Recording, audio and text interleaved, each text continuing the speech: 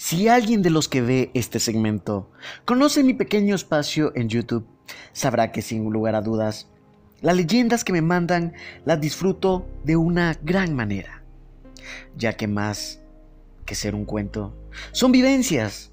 Por ello, a Conde y a mi persona nos alegró el día que un espectador nos mandó algo que actualmente sucede y a continuación se los cuento. Dicen que los animales como los perros y los gatos tienen la habilidad de ver cosas que nosotros no podemos. Es espeluznante ver como un perro gruñe la nada o un gato erizándose viendo un rincón. El lugar es la aldea de Saksui y como casi todos los poblados, hay varios perros callejeros que son amigables y hasta disfrutamos verlos jugar.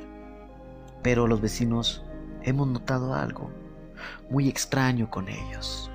Algunas noches, los perros en punto de las once y media de la noche empiezan a rugir y todos se reúnen y corren a la puerta del cementerio y una vez ubicados ahí, ladran como que queriendo espantar a alguien o algo. Justo cuando han pasado unos minutos, ya a la medianoche, se logra escuchar el llanto de una mujer y de forma técnica los perros aullan en compás a esos lamentos. Los miembros de la aldea solo podemos encerrarnos en nuestras casas esperando que todo esto termine. Y pasado el tiempo, se puede escuchar cómo los perritos regresan a sus casas. No tenemos idea de qué pasaría si los canes no están ahí para defendernos, porque estoy seguro que ellos ven algo que nosotros no entendemos y que sus nobles corazones son los guardianes de espíritus infernales. Pues ahí la tienes, conde. Esta leyenda. No la leí en un libro. No la leí en el diario.